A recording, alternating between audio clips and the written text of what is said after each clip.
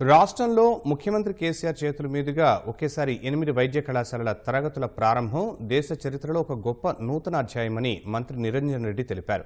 ముఖ్యమంత్రి కేసీఆర్ చేతుల మీదుగా వనపర్తి వైద్య కళాశాలతో పాటు మొత్తం ఎనిమిది కళాశాలల వర్చువల్ ప్రారంభోత్సవాన్ని మంత్రుల నివాస సముదాయంలోని తన నివాసం నుంచి మంత్రి తిలకించారు.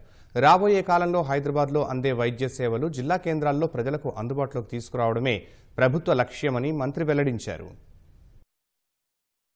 అదనంగా అంది వచ్చేటువంటి సీట్లు పదకొండు వందల యాభై సీట్లు ప్రతి ఏడు పేద మధ్యతరగతి దిగువ మధ్యతరగతి వెనుకబడినటువంటి వర్గాలకు సంబంధించినటువంటి పిల్లలు వైద్య విద్యను అభ్యసించాలనేటువంటి వాళ్ళ యొక్క కళ సాకారం కావడానికి ఎక్కువ సీట్లు పెరగడం కూడా కలిసి వస్తుంది. ప్రజలకు అవసరమైనటువంటి వైద్యులు తయారు కావడము ప్రజలకు అవసరమైనటువంటి వైద్య విద్యతో పాటు వైద్యాన్ని అందించడం ఎంతో మంది చదవాలనేటువంటి అభిలాష ఉండేటువంటి పిల్లలు ఇక్కడ దొరక్క విదేశాలకు ఇంకెక్కడికెక్కడికో పోయి వైద్య విద్యను అభ్యసించేటువంటి దుస్థితి నుంచి స్వరాష్ట్రంలోనే వాళ్ళు ఒక అద్భుతమైనటువంటి నైపుణ్యమైనటువంటి వృత్తి విద్యను అభ్యసించేటువంటి అవకాశాన్ని తెలంగాణ ప్రభుత్వం కల్పించడం విద్యార్థులకు ఇది ఒక గొప్ప వరం.